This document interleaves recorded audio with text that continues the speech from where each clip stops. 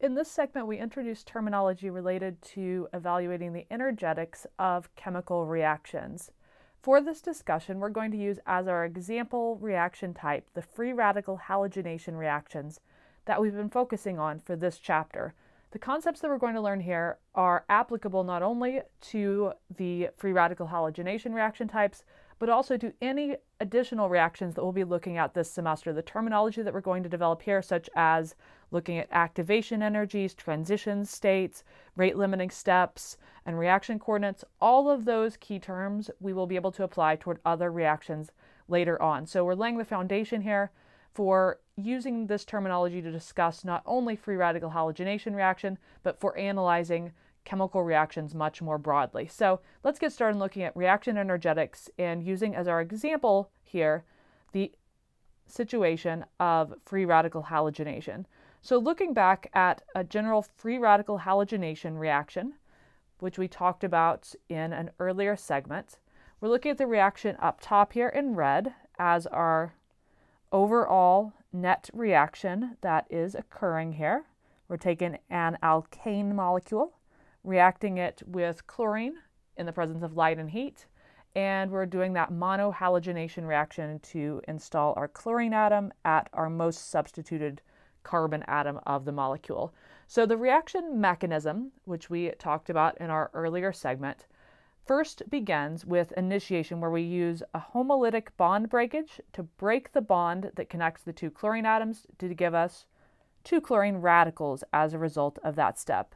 Then what happens is that chlorine radical comes in and it is very eager to react, so it's going to create the homolytic bond breakage of this carbon hydrogen bond right here from our alkane, because breakage at that carbon hydrogen bond is going to lead to the most stable radical intermediate resulting from that from that reaction step. So we're creating the most stable possible intermediate here by creating that tertiary carbon radical. Then we go on to the next so-called propagation step where that tertiary carbon radical is very eager to react and so it's going to come over use one of its electrons to force the breakage of this chlorine-chlorine bond right here. And that will enable the creation of a chlorine carbon bond by bringing one electron over from the chlorine, one electron over from the radical carbon there to create that carbon chlorine bond that we see in our final product. So when we look at the energetics of this reaction, we're going to focus on these propagation steps, the two propagation steps here, because of the fact that these propagation steps, as the name implies, are self-propagating. As we mentioned when we were going through the mechanism before, the product of the second propagation step, that chlorine radical, can re-enter the mechanism back here at the first propagation step. So therefore, this reaction pathway is self-sustaining. We can just cycle through until we are totally out of materials. And so, looking at these two propagation steps is where we're going to focus our attention when we are defining terms related to the energetics of this reaction. So we're going to focus in on those two propagation steps there to look at the reaction energetics. So our focus here is going to be on the energetics of propagation.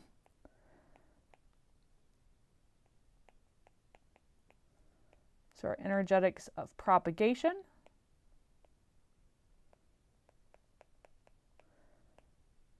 We're going to start by developing the reaction coordinate for this particular reaction. The reaction coordinate is a diagram that will show us the relationship between the energy and the progress of the reaction. So we're going to write out a reaction coordinate for this reaction. On our reaction coordinate for this propagation, is going to have on the y-axis the energy, and this will be true of any reaction coordinate that we draw, is that the y-axis is going to show energy, and the x-axis is going to show reaction progress in going from the starting material to the final product that's observed, progressing from left to right and going from reactant to product. The other way that we can describe this x coordinate is we can describe this as the reaction coordinate. So the reaction coordinate is what we define on the x-axis, and that's what's showing the progress of the reaction. And we're going to be plotting the energy as we go along here. So as we look at the energetics of this propagation portion of the reaction, the reason we're focusing on this portion of the reaction and the energetics of that is because that's the self-sustaining portion of the reaction. So in the propagation steps, what we will do is in our reaction coordinate, we are going to be going through the two steps of propagation in the mechanism, the step here and the step here. So we're going to start our reaction coordinate by plotting the energy of the reactants for the first propagation step. So we're going to be plotting the energy of the chlorine radical and our alkane. And I'm just going to fill that in here somewhere along the y-axis. So what we're starting off here at is we're showing the energy of the reactants, the energy that is going into the first step. So that would be the energy of the chlorine radical that we're starting with and the alkane reactant.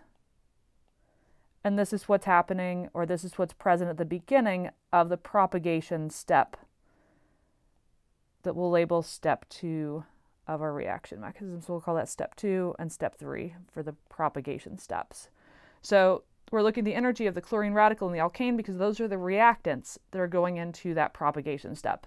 Then what happens is in order for those reactants to become the intermediates that result from that step, the products of that step that I'm outlining in blue, what has to happen is an energy barrier will always have to be overcome even if the overall energetics of that particular reaction step are favorable, meaning we're going from high energy reactants to low energy products, there's always going to be an energy barrier that's involved in making and breaking the bonds. So we're going to go ahead and draw in an energy barrier here. So our energy barrier is going to be our spike or a mountain in this plot. And then I'm going to come back down from that energy maxima to a lower energy point here in the curve. So that top part of the curve is really relevant. We need to mention a couple of terms that go along with the top part, the peaks within an energy curve. And those peaks, such as the one we're seeing here, the mountain tops, if you will, are described as the transition states. So I'm going to put TS, and I'm going to define TS down here as our transition state. And you could think of the transition state as the status of the reaction where the bonds are in the formation, in the process of forming and breaking. So TS is our transition state. And that's really right at that point where the bonds that are being formed are in the process of being made. You could think of them as being half made or half broken at that point. So the transition state we'll go ahead and define as bond making and breaking in progress. And that's why this is going to be the highest energy state is because of the fact that whenever we're joining those two atoms together or breaking them apart right as they're being made or broken is going to be a really unstable point in the curve, or in other words, a high energy point in the curve. So we can illustrate that for our propagation step two here in yellow by illustrating bonds that are half made and half broken. So for example, we're creating a new bond between H and Cl there. And so to illustrate this situation of where the transition state is going on, we can show a Cl for a chlorine. And rather than showing a completely made bond between the H and the Cl, we can show a dash there to indicate that that bond is in the process of being made. So that dash there indicates the bond is in the process of being made. The bond that's in the process of being made is the bond between H and Cl. So I'll go ahead and put an H in there to indicate that HCl bond is in the process of forming during this reaction step. During the reaction step, what is also happening is that we're in the process of breaking a carbon-hydrogen bond.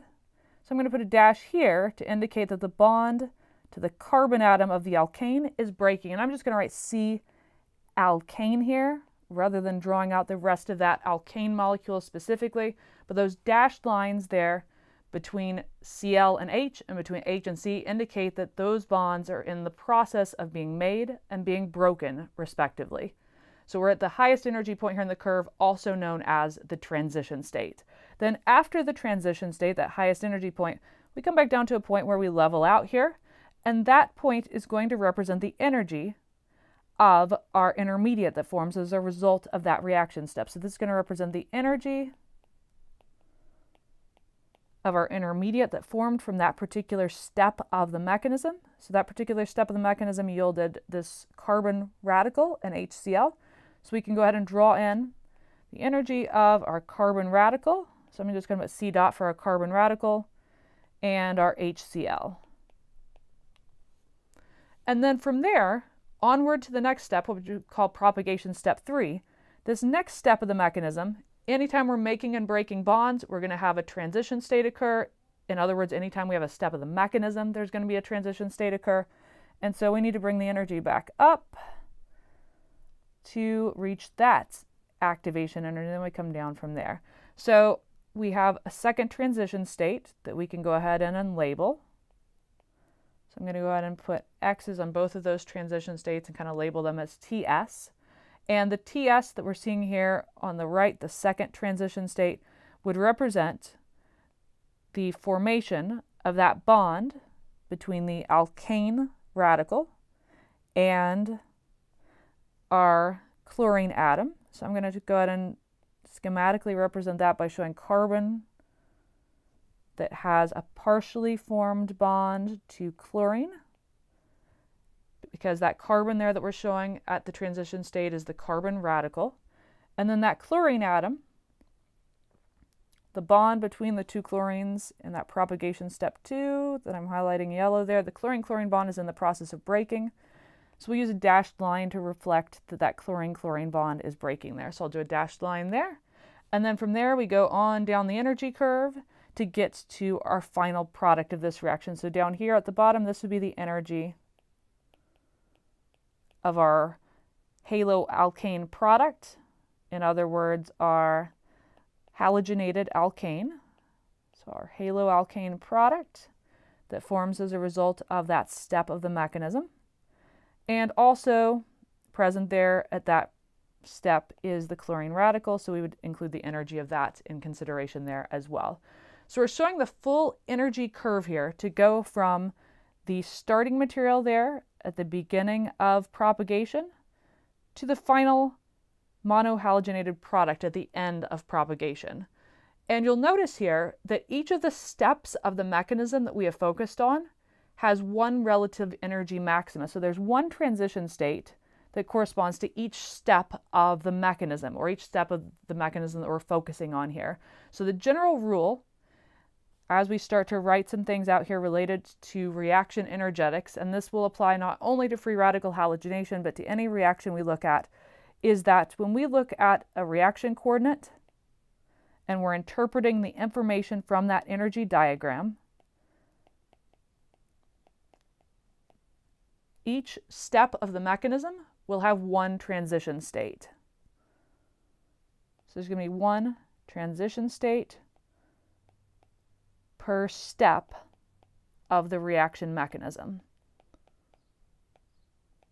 So if you're focusing on an entire reaction mechanism that has seven steps, then you would expect to see an energy curve that had seven transition states, seven peaks of the mountain along the pathway and going from the starting material to the final product. There will be one energy maxima for each step of the reaction, because each mechanistic step of the reaction involves the making and breaking of bonds, and the making and breaking of bonds will always equate to an energy maxima.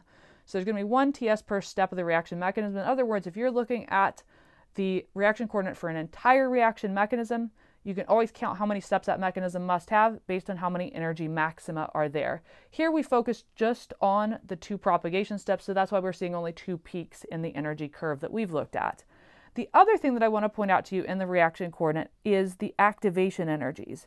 Each step of the mechanism will have a so-called activation energy. That's the energy barrier required to go from the starting material of a step to the intermediate or product that forms as a result of that single step of the mechanism. So the EA, I'm going to read it as the activation energy or the energy of activation.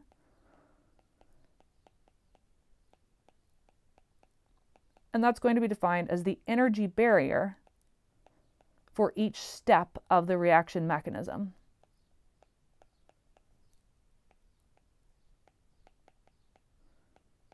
So when we look at the energy barrier for each step of the mechanism, if we go back and look at our energy curve right here, and we want to take a look at the activation energies that are going on here.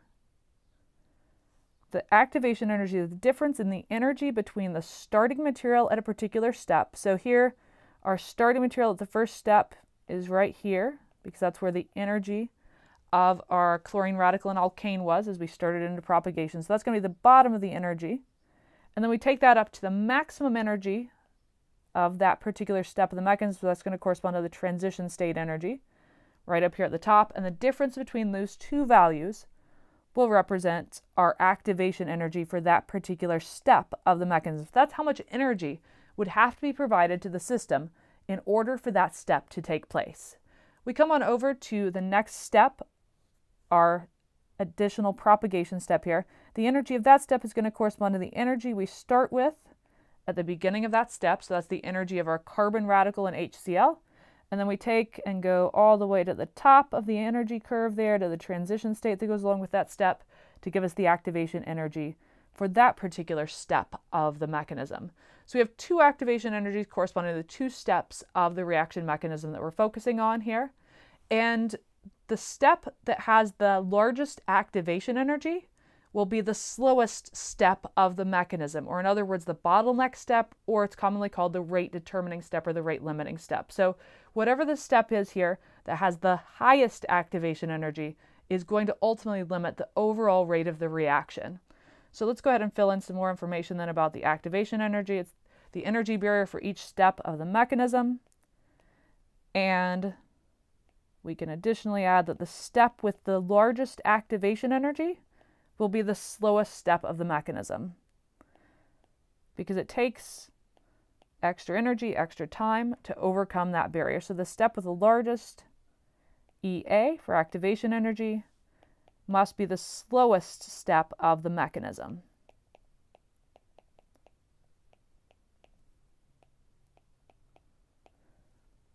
And we can go ahead and add another term to go along with this. So you can think of that slowest step as being the bottleneck step. And what this is going to do is this defines the rate limiting step or the rate determining step of the reaction. So this defines the rate limiting step, also known as the rate determining step of the mechanism. And rate determining step is commonly abbreviated as RDS. You will sometimes see that written above a particular arrow in a mechanism step to indicate that that particular step is the slowest step of the mechanism. So if we look back at our reaction coordinate up here, and we want to pick out what the rate limiting step of the reaction is, we compare the activation energy for this propagation step to the activation energy of the next propagation step. And we notice that the activation energy for that propagation step on the left is definitely larger than the activation energy for the propagation step on the right. And so therefore, the rate limiting step or rate determining step of this propagation is going to be that first propagation there on the left. So I'm going to go in and to emphasize that in our mechanism here, in our propagation phase of the reaction, we can identify that this step is the RDS, the rate determining step. So what that tells us is that this is the step that's slowing down the whole pathway, much like a bottleneck. Nothing can get through an entire system any faster than it can get through that narrowest point of the passageway, the bottleneck. And this is our bottleneck here. It's going to be the step that has the greatest activation energy barrier, where activation energy is the energy from the beginning of that particular step, the starting materials that go into it, to the highest point on the energy curve for that particular step. So that's going to be our activation energy. And we can compare activation energies for the different steps to determine what the slowest step of the reaction mechanism is overall. And that's going to be what limits how fast we can form product out of any multi-step process where we have these multi-step mechanisms going on. So as we continue to look at general terms that we can use to describe reactions and to look at the energetics and of the reaction and how that relates to the progress of the reaction, we need to throw out a couple of additional terms that describe this reaction pathway overall. And those terms relate to the energy of the system as we compare the starting materials energy to the energy of the final product.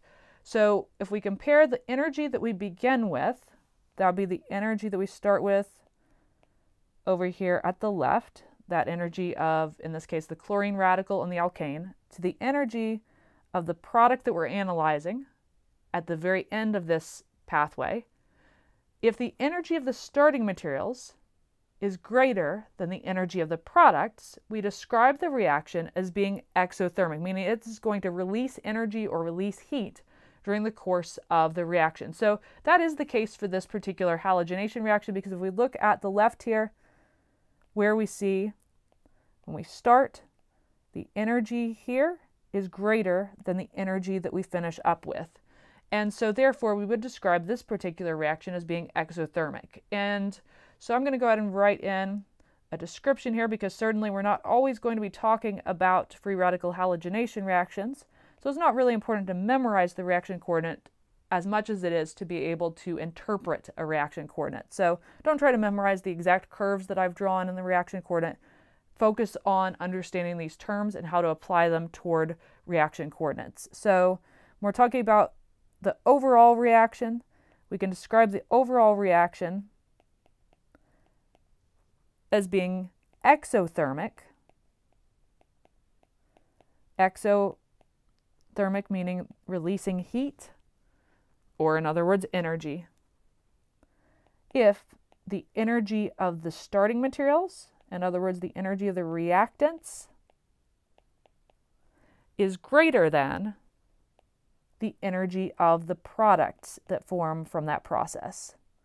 So we would describe the overall pathway up top of our free radical halogenation reaction as being an exothermic process because the energy that we start with on the far left is greater than the energy we finish up with in our final product that we create from that propagation. So, on the other hand, a reaction can be described as endothermic anytime the energy of the reactants is less than the energy of the products. So, in other words, if we were looking at the chart, we would see that our final product would have an energy that was greater than our starting material. We would describe that reaction as being endothermic, meaning that energy or heat is consumed during the course of the reaction. The other way to look at this is from the perspective of stability. Higher energy equates to lower stability. Lower energy amounts to higher stability. So when a reaction is exothermic, what that's telling us is that the products are more stable than the reactants. On the other hand, if a reaction is endothermic, that indicates that the products are less stable than the reactants. So, endothermic if the energy of the reactants is greater than the energy of the products, or the other way to look at the stability of the reactants is less than the stability of the products. So let's now take this information that we've learned about reaction coordinates and apply it toward a problem to make sure that we've got all of this down. So we're going to take a look at the problem below. And this is going to illustrate how we can apply the knowledge that we've learned up top related to free radical halogenation and apply it really generally toward evaluating reaction coordinates. So the question asks, based on the reaction coordinate that you see below, what is the rate determining step or RDS? How many steps are there in this particular mechanism that we're looking at? Even though we know nothing about the reaction, just looking at the reaction coordinate, how many steps are in the mechanism?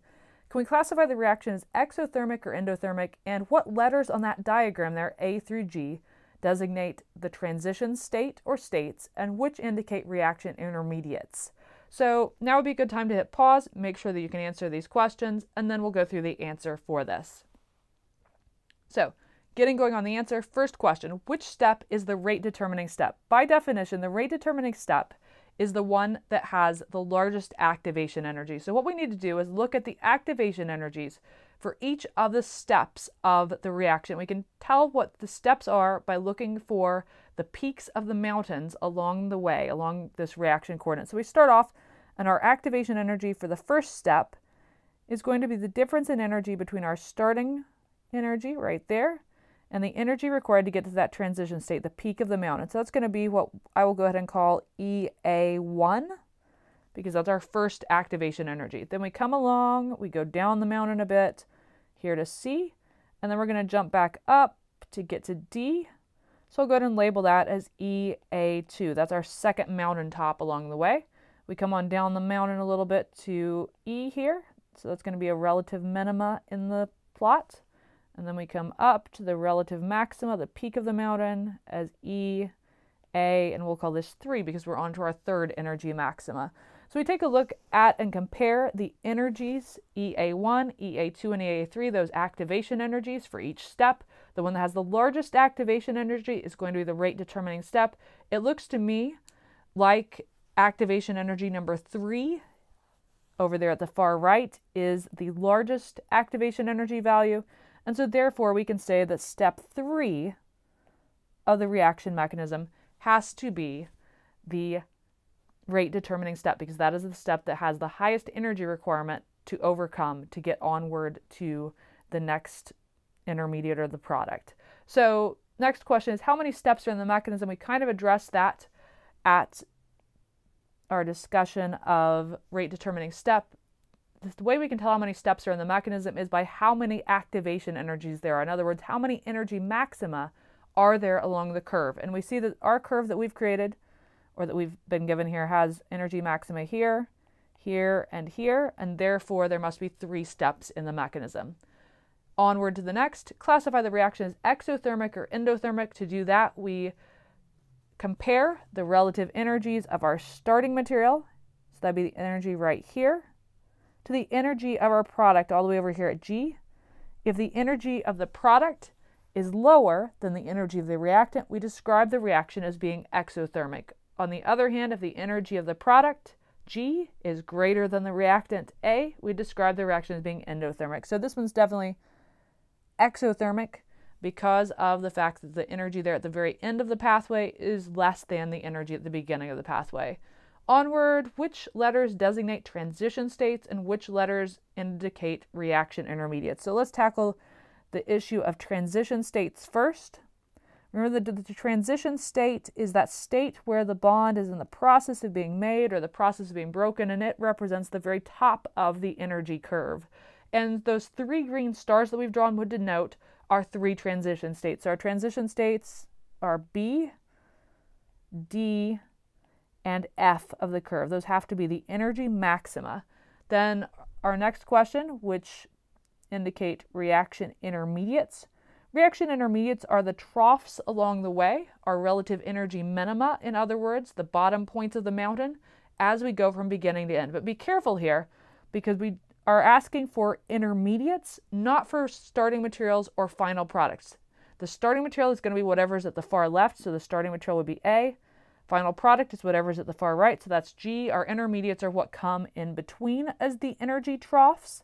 And so what comes in between as the energy troughs is going to be C, and E, our energy troughs in route there. So we'll go ahead and write in C and E as our reaction intermediates. If we were asked to identify the reactants and the products, we would describe the reactant as A and the product as G here. So that goes ahead and concludes our discussion of reaction coordinates, which is a concept that we will be applying toward a variety of different reactions later on as we talk about reaction types and try to identify what is the bottleneck step of a reaction and what can we do with that reaction to maybe optimize how well we are able to get that reaction to run by understanding these basic features of reaction coordinates.